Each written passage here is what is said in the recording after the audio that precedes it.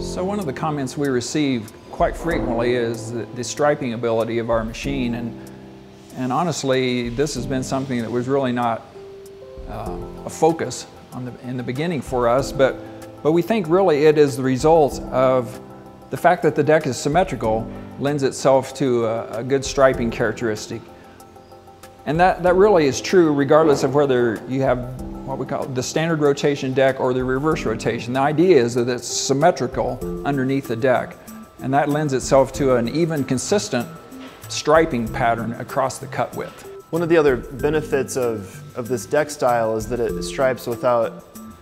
the bulkiness and the inconvenience of, of having a roller, a striping roller on the back of the deck. We can, we can leave beautiful stripes can leave stripes that attract attention to lawns um, and we don't have to do it without any, any additional equipment.